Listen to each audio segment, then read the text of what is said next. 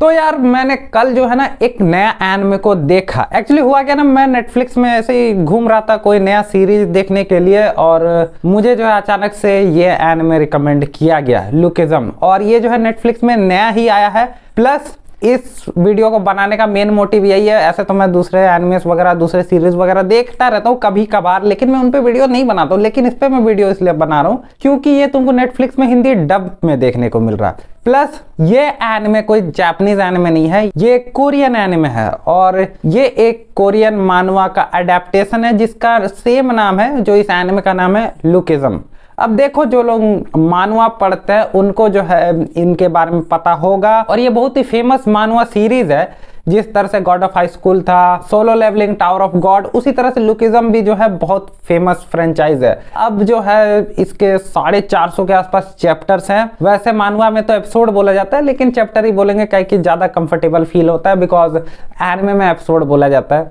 खैर, मैंने इसका मानवा बिल्कुल ही नहीं रीड किया है। लेकिन मैंने इस एनिमे को देखा और इसको लेकर के आज मैं विचार रखूँगा कि क्या तुम्हें इस एनिमे को देखना चाहिए। अब देखो, ज़्यादातर तो अगर तुम सब जो हिंदी डब एनिमे खोजते रहते हो तो तुम जो है इसको ज़रूर देख सकते हो। प्लस मुझे कैसा लगा? पहले बात करते हैं प्लॉट की। प्लॉट जो है, हो सकता है तुम सबको कुछ नया दिखाई दे लेकिन मुझे प्लॉट नया नहीं दिखाई दिया बिकॉज़ अगर तुम्हें नहीं पता तो मैं बता दूँ कि मुझे जो है के ड्रामास भी देखना पसंद रहता है। हाँ सबके अपने अपने शौक होते हैं और मेरे बहुत सारे शौक है कि मैं एक सीरीज़ पे नहीं टिक पाता हूँ किसी एक स्पेसिफिक कंट्री का। मुझे अलग अलग कंट्री के सीरीज़ मूवीज़ देखना पसंद है। और यही वो रीजन है कि मुझे कोरियन ड्रामास भी आखिरकार अट्रैक्ट कर ही दिए और मैंने देखना चालू कर दिया। जिसके बाद जो है मैंने दो तीन कोरियन ड्रामास देखे थे, जैसे कि एक ओ माई वीनस उसमें भी वही इसी टाइप का है, लेकिन इससे थोड़ा सा अलग तुमको देखने को मिलेगा। उसके अलावा मैंने एक कोरियन मूवी देखा था, जिसमें थोड़ा सेम टाइप का कॉन्सेप्ट लगेगा इसमें, लेकिन वहाँ और यहाँ में थोड़ा सा चेंज है बट फिर भी। वही मोटा वाले बंदे को जो ट्रोल किया जाता है। एक्चुअली में इस सीरीज़ का जो मेन कैरेक्टर है ना, अब देखो नाम इसके जो बहुत ज़्यादा अजीब होते हैं। जितने भी कोरियन शोज़ मैंने देखे हैं, नाम मेरे को याद बिल्कुल भी नहीं रहता है। जो भी इस सीरीज़ का मेन कैरेक्टर है, अपना हीरो है, वो एक्चुअली में बहुत ही ज़्यादा मोटा है। और दिखने में भी अच्छा नहीं दिखता है। जिस वजह से उसको जो है स्कूल के जितने भी बच्चे होते हैं, बदमाश बच्चे, वो लोग उसको बहुत ही ज़्यादा पीटते रहते हैं, गधे की तरह मेहनत करवाते रहते हैं।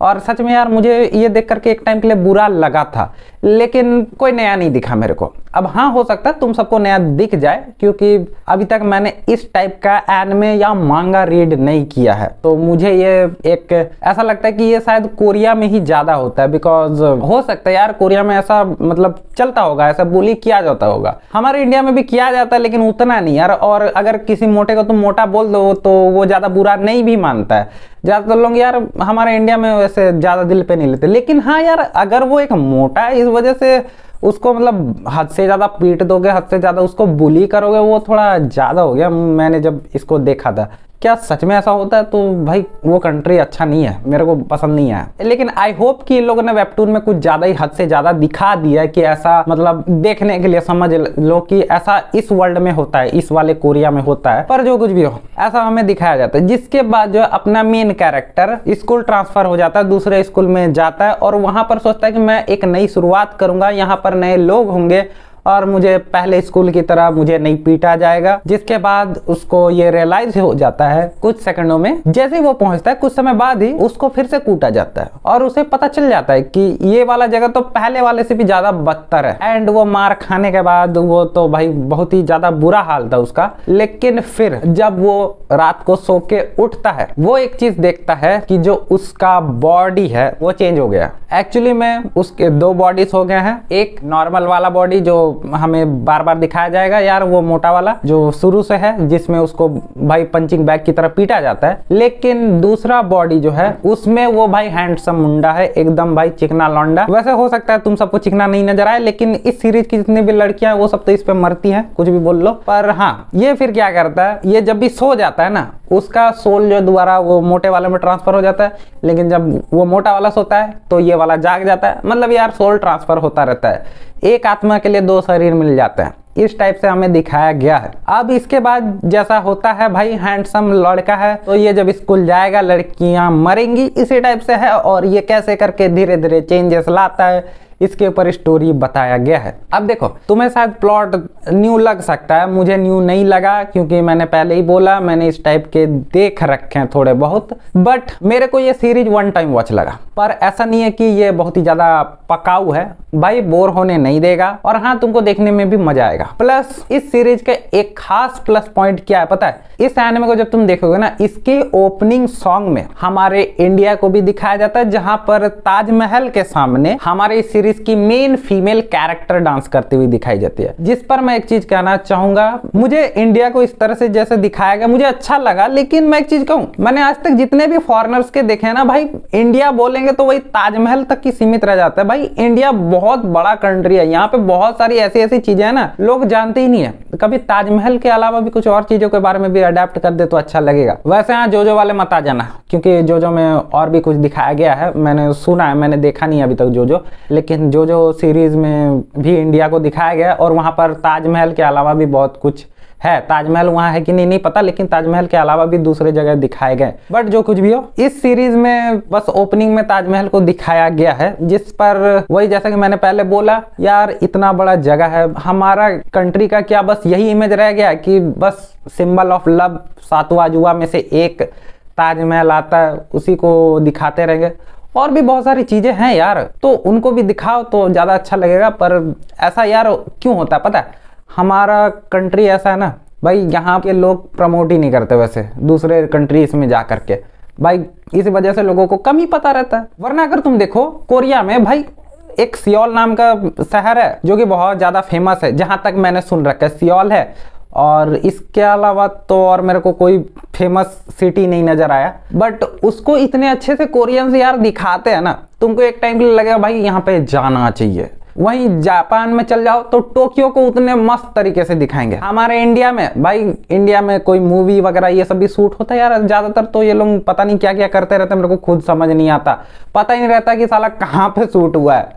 तो ऐसा होता है, इस वजह से शायद ये चीज़ें जो है गलत लगती है हमें और मुझे सच में ये चीज़ अच्छा लगा। लेकिन यार, ताजमहल के अलावा भी कुछ और दिखाओ, क्योंकि मैं देख देख के पक चुका हूँ। बहुत सारे मैंने हॉलीवुड एक्टर्स भी जब आएँगे, यहाँ पे आएँगे, ताजमहल के सामने फ़ोटो खिंचाएँगे। इसके अलावा बहुत सारी जगह है यार। खैर, मैंने कुछ ज़्यादा बग दिया। अब आते हैं इस सीरीज़ के साइड कैरेक्टर्स को लेकर के। अब देखो साइड कैरेक्टर्स में ये जो है आठ एपिसोड में निपटाया गया है इस एनमे को। देखो कंप्लीट नहीं हुआ है, इसका सेकंड सीज़न भी आएगा। लेकिन इन लोगों ने जो है फास्ट पेसिंग किया क्योंकि मैंने वेबटून बस खोल के देखा था और इन लोगों ने शायद 50 चैप्टर के आसपास अडेप्ट किया है, आठ एपिसोड में ही। मतलब 50 चैप्टर के अंदर ही ये लोग अडेप्ट किए हैं, पर आठ एपिसोड में तुम लोग साला इतना आगे बढ़ जाओगे यार तो बहुत सारी चीज़ें छूट जाएँगी। लेकिन यहाँ पर एक कैरेक्टर मुझे अच्छा लगा, वो है वास्को। भाई ये बंदा यार सच में दिल जीत लिया, क्योंकि इसने ऐसी काम कर रखे हैं, जहाँ पर दूसरे लौंडे यार कमजोरों को परेशान करते हैं, उनको बुली करते हैं ये बंदा भाई अपना एक ग्रुप बना के रखा है जहाँ पर ये उनको प्रोटेक्ट करता है। प्लस हमारा जो एम सी है मेन हीरो है, भाई मुझे एक टाइम के लिए इरिटेट कर दिया था ये बंदा। बिकॉज़ जब भी ये बंदा स्कूल जाएगा, भाई वो फिक्स है। लड़कियाँ चिल्लाएँगी ओ माय गॉड ये कितना हैंडसम है। और कुछ नहीं। भाई, सच में एक टाइम के लिए इरिटेट हो गया था मैं। वैसे तुम सब भी जब देखोगे ना, पका देगा। यार, अब कुछ नया दिखा दो। बहुत देख लिया ये चीज़ सुन सुन के। वैसे खैर, तुम्हें इस सीरीज़ की जो मेन फीमेल कैरेक्टर है, वो भी तुमको अच्छी लगेगी। जब वो इंट्रोड्यूस होगी, वैसे ये झलक दिखाने के लिए आती है। जैसे वन पीस में सैंक्स आता है, बस आता है, चला जाता है और कुछ ना कुछ माहौल बना के चल जाता है। वैसे ही जो मेन फीमेल कैरेक्टर है हमारी सीरीज़ की, इस सीज़न तो यही सब की है तो ज़्यादा कुछ है नहीं। लेकिन हाँ तुम्हें देखने में मज़ा आएगा। मुझे ये सीरीज़ वन टाइम वॉच लगा, लेकिन तुम्हें हो सकता है ज़्यादा मज़ा आए। और हो सकता है तुम देखते हुए बोर ना भी हो, लेकिन ये सीरीज़ जो है, मैं रेटिंग देके मज़ाक नहीं नहीं बनाऊँगा बिकॉज़ ये देखो नेटफ्लिक्स वाले जो है, हिंदी डब करके रिलीज़ किए हैं और ये तुमको कोरियन में नहीं मिलेगा। कोरियन में होते हुए भी। कोरियन सब टाइटल्स है, लेकिन कोरियन लैंग्वेज नहीं दिया और इस वजह से मैं कोरियन लैंग्वेज भी खोज रहा था, लेकिन नहीं मिला। इंग्लिश और हिंदी में दिया है और इंग्लिश वाला तो मुझे और ज़्यादा कबाड़ लगता है, लेकिन फिर मैंने सोचा कि इंग्लिश में देखने के बजाय हिंदी में देख लेता हूँ, जब हिंदी दिया है तो। तुम सब भी जो है नेटफ्लिक्स है तो जा करके हिंदी में देख सकते हो और सपोर्ट दिखाओ इस एनमे को जिससे जो है इसका सेकंड सीज़न में जल्दी आ सके और ज़्यादा कुछ है नहीं बात करने के लिए। तुम सभी इस एनमे को देखने के बाद कमेंट बॉक्स में बता सकते हो कैसा लगा। एक बार ट्राई ज़रूर करना। तो यार वीडियो पसंद आया, नहीं आया कमेंट बॉक्स में बताना। प्लस इस चैनल को बस तुम एक लुकिज्म फ़ैन हो, इस वजह से मत सब्सक्राइब करना। अगर कोई लुकिज्म फ़ैन देख रहा है तो बिकॉज़ ये चैनल जो है वन पीस पे ज़्यादा फोकस करता है। और इसी वजह से तुम एक वन पीस फ़ैन हो, तभी इस चैनल को सब्सक्राइब करना बिकॉज़ इस चैनल पे वन पीस के वीडियोस आते हैं। और ऐसे बीच बीच में कभी कभार अगर दूसरा एन में या मांगा देखता हूँ तो मैं बना दूँगा वीडियो और हाँ मिलेंगे नेक्स्ट वीडियो में। फ़िलहाल के लिए बाय